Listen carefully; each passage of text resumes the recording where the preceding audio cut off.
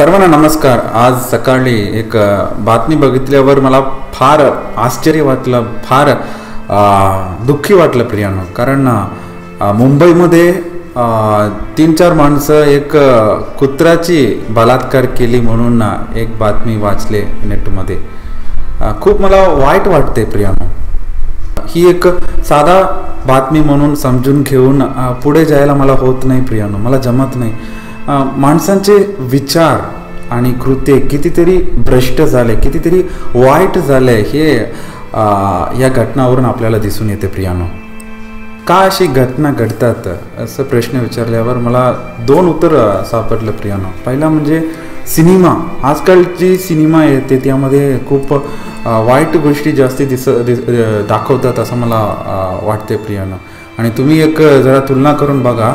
पन्नास वर्ष ज्या चित्र येत होते सिनेमा येत होते त्यामध्ये किती वाईट गोष्टी दाखवल्या किंवा शारीरिक संबंधाबद्दल किती गोष्टी दाखवल्या आणि आता किती गोष्टी दाखवतात किती टक्के गोष्टी दाख दाखवतात याची तुलना तुम्ही केल्यावर तुम्हाला समजून येणार की कितीतरी आपण भ्रष्ट होतो प्रियानो. सर्व चित्र वाईट आहे तसं मी म्हणत नाही पण भरपूर चित्रामध्ये वाईट गोष्टीच जास्ती असतात.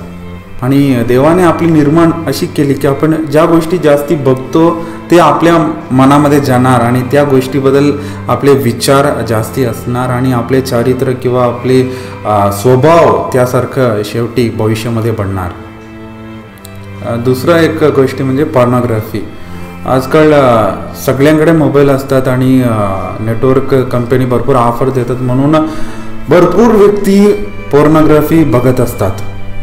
लहान लेकरं बघतात तरुण बघतात वयस्कर माणूस बघतात. खूप भयंकर आहे प्रियानो कारण ज्या गोष्टी ते चित्रामध्ये बघतात पोर्नोग्राफीमध्ये बघतात त्याप्रमाणे ते अनुभव मी पण घ्यायला पाहिजे अशी एक भावना बघणाऱ्या व्यक्ती व्यक्तीकडे निर्माण होते. म्हणून ते अनुभव घ्यायला स्त्रीची रेप करतात बलात्कार करतात आणि कुत्र्याची पण रेप करतात. आपण खूप सावध राहायला पाहिजे प्रियानं. आपल्या लेकरांना आपण वाचवायला पाहिजे कारण जग खूप वाईट गोष्टीने भरलेले आहे.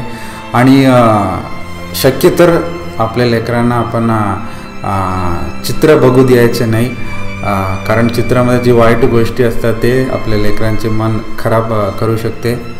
आणि शक्य तर नाटक रियालिटी शो ते सुद्धा आपण बंद करायला पाहिजे कारण त्यामध्ये सुद्धा भरपूर भ्रष्ट गोष्ट आहेत.